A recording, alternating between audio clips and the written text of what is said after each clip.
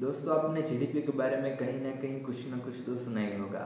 तो दोस्तों, क्या आपको पता है जीडीपी क्या है और इसे कैसे कैलकुलेट किया जाता है? अगर आप नहीं जानते तो आप ये आगे वीडियो देखते रहिए। मैं आज इसी बारे में बात करने वाला हूँ। नमस्कार दोस्तों, मैं हूँ प्रफुल वगेला आप देख रहे हैं माई क्वेश्चन चैनल तो चलिए शुरू करते हैं।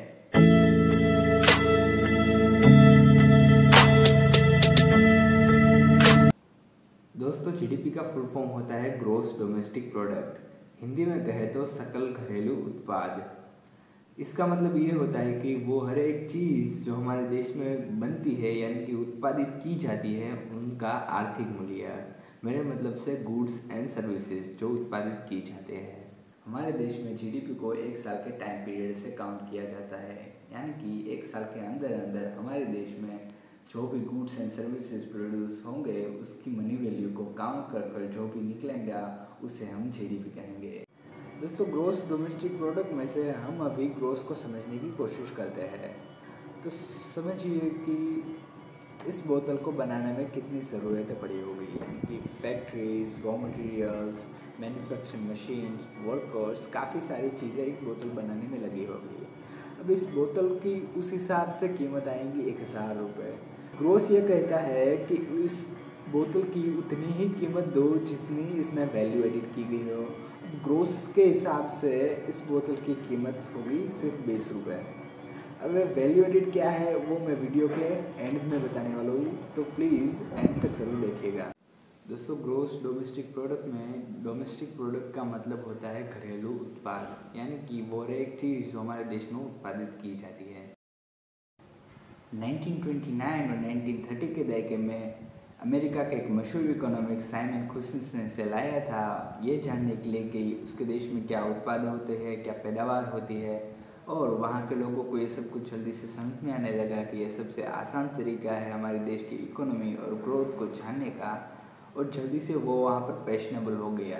और पंद्रह बीस सालों में काफ़ी सारे देशों ने इसको अडोप्ट कर लिया। और हम भी 1950 से इसी तरह से जीडीपी का एस्टिमेशन करते हैं।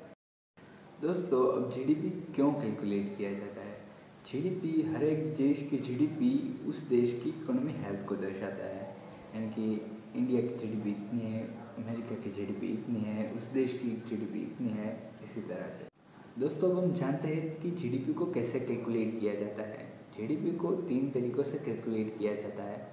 उसमें से पहला है expenditure method of counting GDP इस मेथड में उन सारे पैसों को जोड़ा जाता है जो हमारे द्वारा खर्च किए जाते हैं। जैसे कि आप और आपके फ्रेंड्स बिग बाज़ार में जाकर एक लॉलीपॉप खरीद कर खाते हैं तो उसका पैसा जीडीपी में गिना जाएगा। दोस्तों, अगर मैं आपके पास से एक सेकेंड हैंड बाइक खरीदता हूँ तो क्या ये कंजप्शन में गिना जाएगा?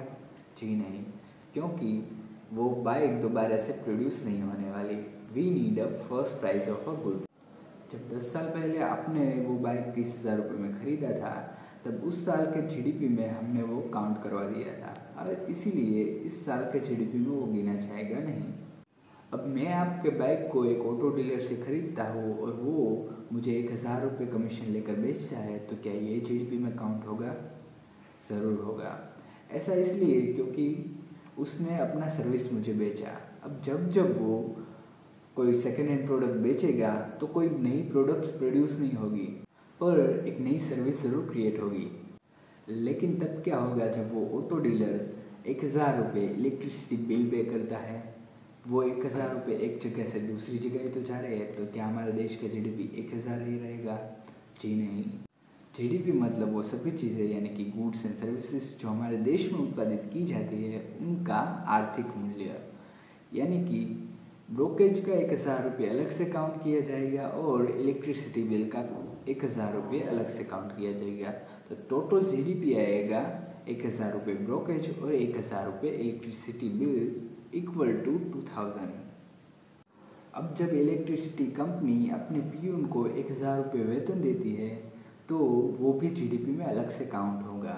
यानी कि जीडीपी बराबर एक हज़ार रुपये ब्रोकेज प्लस एक हज़ार रुपये इलेक्ट्रिसिटी बिल प्लस एक हज़ार रुपये जो वेतन पीयून को दिया है। बराबर होगा तीन हज़ार। तो जीडीपी आएगा तीन हज़ार। एक्सपेंडिचर मेथड में ही हम एक्सपोर्ट और इंपोर्ट को समझते हैं। एक्सपोर्ट यानी कि जो भी चीज़ हम यहाँ पर बनाकर, यहाँ पर सर्विसेज़ जो भी है, हम दूसरे देशों को बेचते हैं। उससे जो पैसा आता है, यानी कि अब्रोड से जो आने वाले पैसे है उसे हम जीडीपी में काउंट करेंगे और इंपोर्ट यानी कि जो भी हम बाहर से चीज़ें खरीदते हैं, बाहर के देशों देशों से जो भी चीज़ें खरीदते हैं और उससे हमें पैसा देना पड़ता है, उसे हम हमारे जीडीपी में से घटा देते हैं। ऐसा इसलिए क्योंकि वो चीज़ें हमारे देश के अंदर नहीं बनी है। दोस्तों, अब देखते हैं जीडीपी का फॉर्मूला जिससे जीडीपी को कैलकुलेट किया जाता है।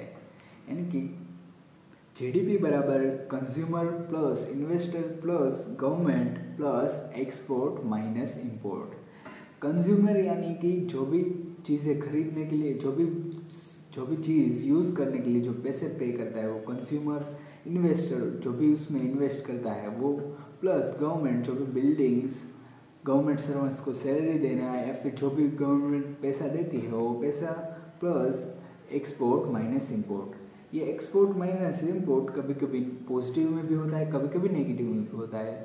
दोस्तों, दूसरा तरीका है income method of counting GDP इसके अंदर आप सभी की इनकम को गिना जाता है। पर कुछ लोग होते हैं जो अपना बिज़नेस उधार से चला रहे होते हैं या फिर बिज़नेस में पेमेंट मिलना बाकी हो तो इस हिसाब से ये तरीका ज़्यादा टिकाऊ नहीं है। Third method is production method of counting GDP उन सभी का आर्थिक मूल्य जो उत्पादित होती है value added at each stage दोस्तों, मैंने आपको बताया था वीडियो की शुरुआत में कि वैल्यू एडिट क्या होता है। तो आप ये मेथड में आपको समझ में आ जाएगा कि वैल्यू एडिट क्या होता है। दोस्तों, समझ लो कि एक किसान गेहूँ उत्पादित करता है और 100 किलो को 2000 में बेचता है। आटे की मिल वाले ने किसान से गेहूँ खरीदा, उसको पीसा और किसी बेकरी वाले को पच्चीस सौ में बेच दिया। पिछली खरीद से पाँच सौ रुपये बढ़ाकर बेकरी वाले ने उसका ब्रेड बनाया, बिस्कुट बनाया और हमें बेच दिए पैंतीस सौ रुपये में। यानी कि पिछली खरीद से एक हज़ार रुपये बढ़ाकर। दोस्तों, आटे की मिल वाला जब गेहूँ को खरीदता है और उसको पीसता है, उसका आटा बनाता है तो उसने उसमें, उस प्रोडक्ट में वैल्यू एडिड की। और जब बेकरी वाले को बेचता है और बेकरी वाला उसका ब्रेड और बिस्कुट बनाता है तो उसने भी प्रोडक्ट में वैल्यू एडिट की। अब वो हमें पैंतीस सौ रुपये में बेच देता है और उसने उसके पैसे भी ले लिए। तो हमने सिर्फ़ उसके ही पैसे दिए जितनी उसने वैल्यू एडिट की। नहीं कि मशीनरी वशीनरी सब मिला के उसने हमारे पास से पैसे लिए। इसी तरह से वैल्यू एडिट को काउंट किया जाता है। आई होप कि आपको वैल्यू एडिट समझ में आ गया होगा। तो दोस्तों, इस दौरान हमारी टोटल जीडीपी क्या रहेगी? यानी कि दो हज़ार रुपये के गेहूँ प्लस पाँच सौ रुपये। जो आटे की मिल वाले ने वैल्यू एडिट की और उसने लिए प्लस एक हज़ार रुपये जो बेकरी वाले ने वैल्यू एडिट करके लिए तो हमारी टोटल जी डी पी आई पैंतीस सौ रुपये दोस्तों, ये मेरा पहला वीडियो है यूट्यूब पर। आई होप कि आपको पसंद आया होगा। अगर आप कुछ और जानते हैं जीडीपी के बारे में तो प्लीज़ मुझे कमेंट कर बता देना। अगर आपको वीडियो पसंद आया हो तो लाइक करो शेयर करो कमेंट करो। चैनल को सब्सक्राइब करना बिल्कुल भी मत भूलना, क्योंकि मैं आपके लिए ऐसे वीडियो लाता रहूँगा। तब तक लिए जय हिंद, वंदे मातरम।